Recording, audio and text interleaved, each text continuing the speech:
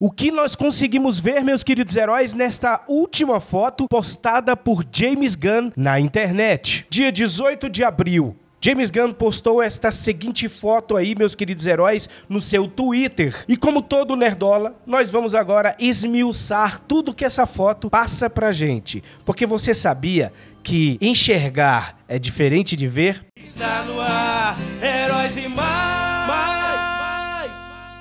Olá, queridos heróis! Sejam muito bem-vindos ao canal Heróis Mais. Eu sou o Tony Blake. E eu sou Elvis Ventura. E esse é o canal que fala sobre heróis e muito, muito mais Superman da cultura pop para você. Segundo o pesquisador Masataka Watanabe, do Instituto Max Planck de Tübingen, na Alemanha, ver e enxergar são coisas bem distintas, uma vez que envolvem duas áreas diferentes do nosso cérebro. Ver consiste em focar a atenção e buscar uma visão mais aprofundada do objeto. Já enxergar está no superficial, naquilo que vemos apenas sem analisar. Ou seja, meus queridos heróis, os youtubers brasileiros cheirosos apenas enxergam a cultura pop atual, mas eles não conseguem ver de fato. A forma como expressamos o nosso olhar pode ser fundamental em nossa vida, também profissional. Por exemplo, em um diálogo, o jeito como as pessoas se olham faz toda a diferença na transmissão ou recebimento da mensagem. Através dos olhos, é possível transmitir firmeza ao orientar ou se demonstrar focado e confiante ao receber novas demandas. No ambiente de trabalho, por exemplo, é necessário que você esteja atento a isso e sempre se lembrar de que os olhos falam. Como nós já dissemos, nós vamos esmiuçar, vamos teorizar, vamos falar sobre essa foto que foi muito bem divulgada, que ela está aí em todos os fóruns de Superman e que foi uma sacada genial de James Gunn logo no dia 18 de abril, dia da comemoração do Superman Day. Mas Elvis Ventura não é a primeira vez que James Gunn coloca fotos emblemáticas na sua rede social. Você lembra daquela vez que o James Gunn colocou uma foto do Reino do Amanhã? Claro que eu lembro, Tony. Reino do Amanhã é uma das melhores histórias do Superman e da Liga da Justiça de maneira geral. Ele postou essa foto no dia 30 de novembro de 2022. Nessa época ainda não tinha saído o cast de Superman, mas ele já tinha dito que não seria o Henry Cavill, né? Exatamente. E, e essa foto ela diz o quê?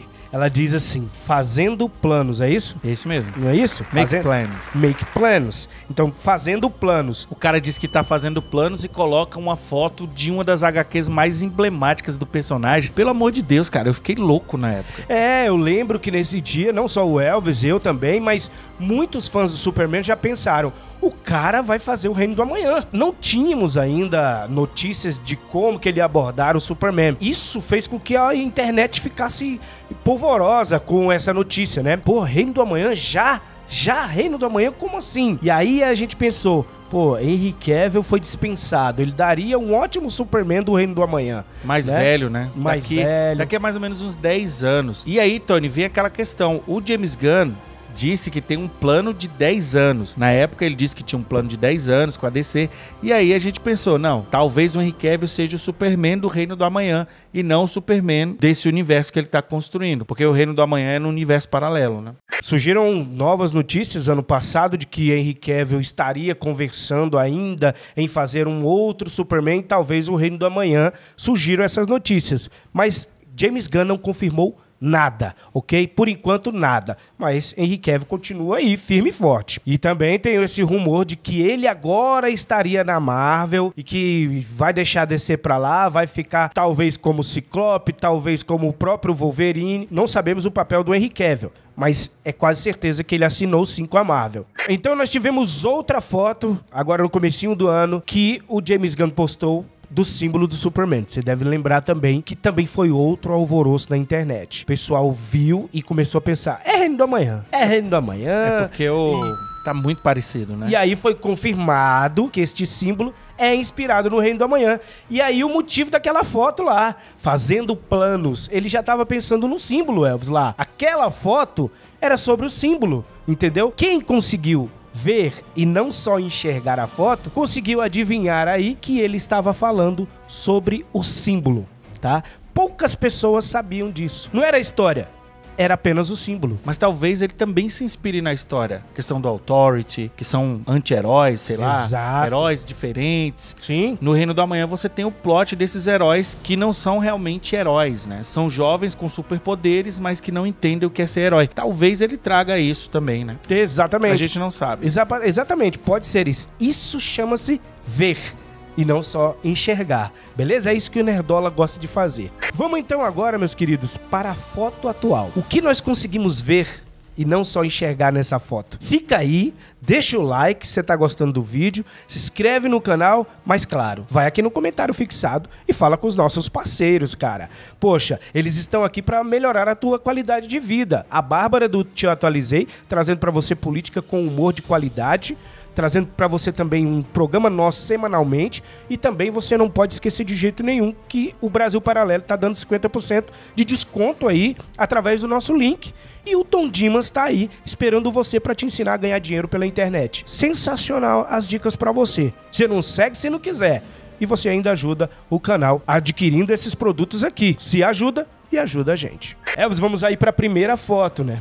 Qual é a sensação que você tem, meu querido irmão, de ver esta foto do cara que escreveu, do cara que vai dirigir, lendo ou então só performando, que eu acho que ele já leu, uma das HQs do Superman. O que, que você sente sabendo que o cara, você que é um, é um cara que é o seu maior herói de quadrinhos é o Superman, né? Igual a de muitos aí que estão aí agora nesse momento. Na verdade, o O Super- macho também, no macho geek. do macho geek também. Na verdade, Superman é o maior herói do mundo de quadrinhos. Dos quadrinhos. Do mundo. O maior herói de todos. O que, que você sente aí vendo isso? Pra deixar claro, eu não gosto do James Gunn, mas que o cara está fazendo um bom trabalho de marketing, está respeitando, parece que está respeitando o personagem, é isso que eu sinto. Eu sinto olhando pra essa foto que, poxa, o cara entende do que ele está fazendo, o marketing, e tá mostrando pra mim que sou fã do Superman que ele também é fã. Então, Pode ser que ele meta os pés pelas mãos? Pode. Pode ser que eu não goste do filme por conta das questões autorais do James Gunn? Pode. Mas me parece, vendo essa foto, que ele respeita e que ele entende o tamanho do personagem. Vamos lá agora, Elvis David Corriswet, o Superman. O Superman tá aí com uma mais clássica ainda, né? A revista Action Comics, que antigamente era Detective Comics. Ok? Essa HQ é Action Comics 1, é a edição de estreia da revista de quadrinhos americana do Superman, publicada originalmente nos Estados Unidos em 18 de abril de 1988 pela Detective Comics Inc., uma empresa que posteriormente seria incorporada à DC Comics, uma subsidiária do grupo da Time Warner. Apresentada em sua capa uma famosa imagem do Superman carregando com as mãos um automóvel. A revista é considerada o marco zero das histórias em quadrinhos americanas de super-herói e é um dos, se não, o mais valioso item colecionável de todo o mercado, sendo uma das edições mais procuradas e valorizadas por aficionados. Um exemplar original em bom estado desta primeira edição já chegou a ser leiloado por 1,5 milhões de dólares em 2010.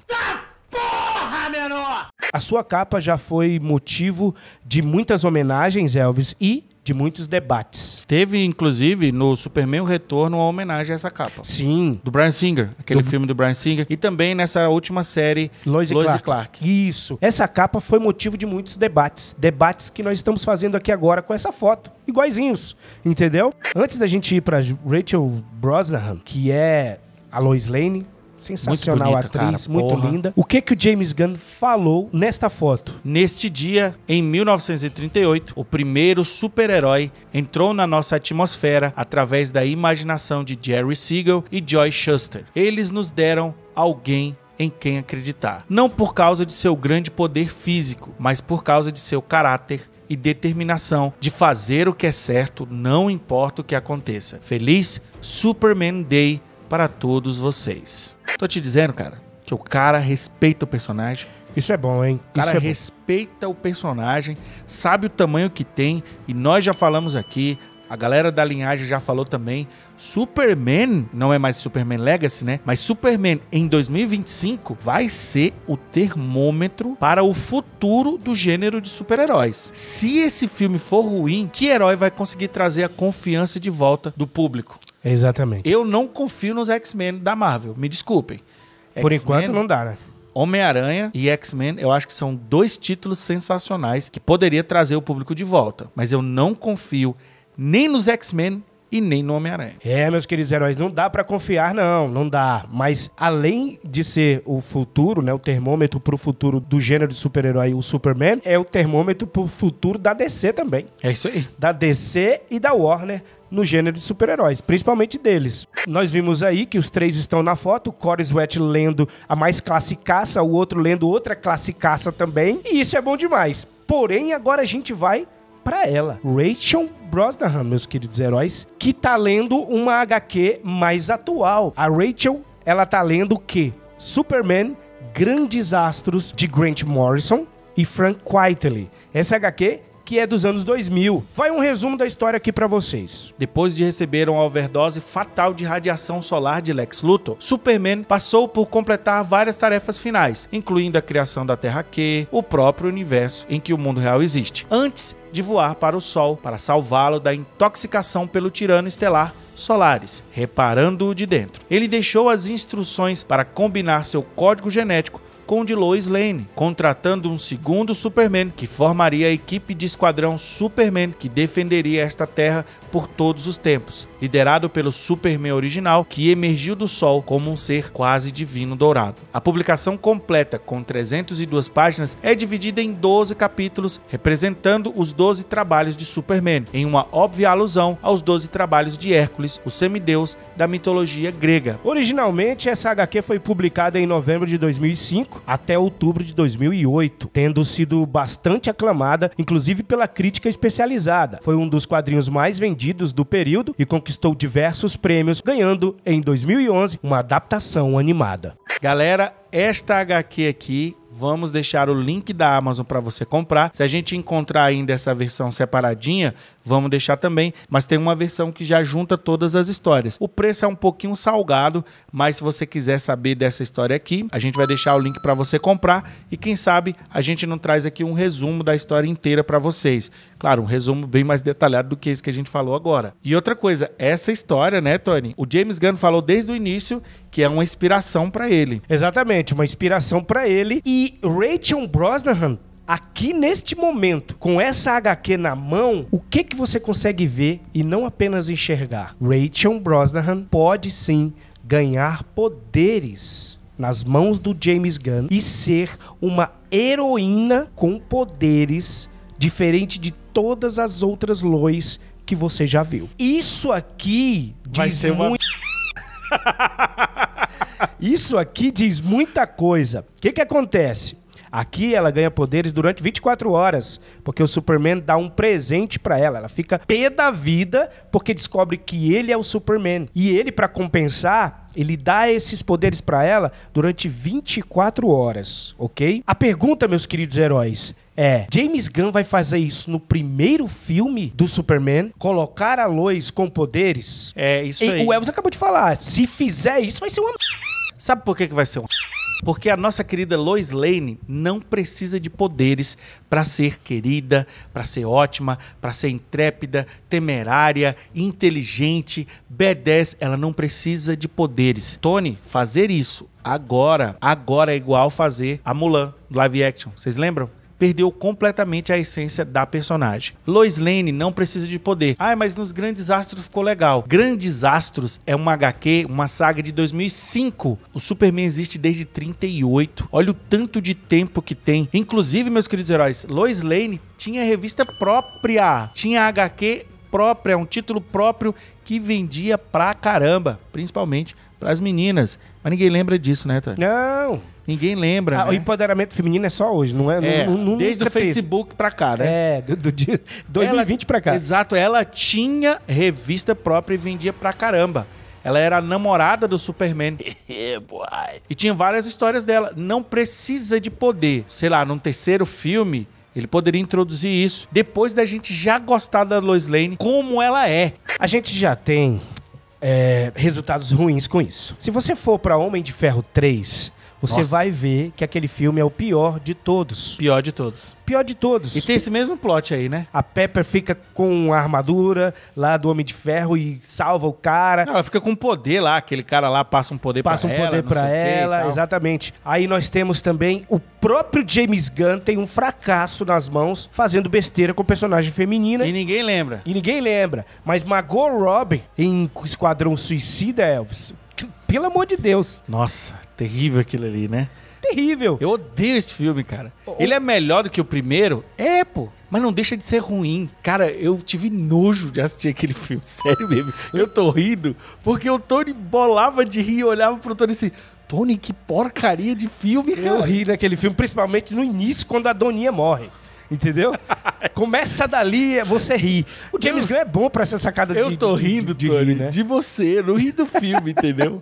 Eu ria porque o Tony tava se bolando de rir e me contagiava, entendeu? Mas eu odiei o filme. Toda vida que eu lembro que a Doninha, pô, uma missão, cara. Na primeira, né? Primeira missão, a pessoa morre, entendeu? Mas vamos pra lá, vamos lá. Nesse filme Esquadrão Suicida, Margot Robbie é totalmente Mary Sue, queridos. É horrível o plot da Margot Robbie. Errou! Ela, Da ela- Arlequina, né? Da Arlequina. Desculpa. O plot da Arlequina é ruim demais, entendeu? O filme também é um fracasso. É um fracasso. Mas a galera esquece, né, desse filme que foi ruim demais. Então, James Gunn, ele não pode cair nessa armadilha. De jeito nenhum. Ele não pode criar uma própria armadilha pra ele. Ele pode até dar vestígios de que ela um dia vai ter poderes, que, sei lá, mas o Superman agora com esse plot de grandes astros aqui, não funciona. Não funciona porque aqui ele tá morrendo, Elvis. Exatamente, não pode, Tony. Tony, a Lois Lane, ela não tem poderes, ponto. Ai, mas vai ser legal ter... Não, já tem uma personagem lá que vai lutar com o Superman. A menina lá do Authority lá, poderosa pra caramba, já tem essa heroína com poderes. A gente quer a Lois Lane heroína sem poderes, usando a inteligência. Presta atenção, uma pessoa que se coloca numa situação de quase morte sem ter superpoderes é mais corajosa do que alguém com superpoder ou não? Pelo amor de Deus, gente. Exatamente. Isso aí é o básico. James Gunn não faz esta merda. Não faz isso. Mas essa foto, como o Tony falou, essa foto diz muita coisa. Talvez Tony e eu estejamos vendo muito, ok? Esperamos estar errado. Mas geralmente a gente acerta, né, Tony? É, geralmente. Geralmente a gente tá certo. Então, meus queridos heróis, vale a pena você ver e não só enxergar essa foto aí. Tá? Vale a pena você começar a ver melhor as coisas, não só essa foto, mas muitas outras coisas que tem aí na cultura pop. James Gunn não lançou essa foto só por causa da comemoração do Superman. Eu concordo plenamente. Não foi. Não foi. Tem coisa aí e a gente pode começar a teorizar o que é. Queremos ver a sua opinião, a sua teoria. O que, que você acha dessa foto? O que, que você conseguiu ver além de enxergar aí? Deixa seu comentário. Olha, os nossos parceiros aqui no comentário fixado estão te esperando para melhorar a sua qualidade de vida. Um abraço do Tony. E um abraço do Elvis. Enquanto no próximo vídeo não esquece, você também é um herói. E você também é uma heroína. Tchau, tchau. Tchau. Está no ar.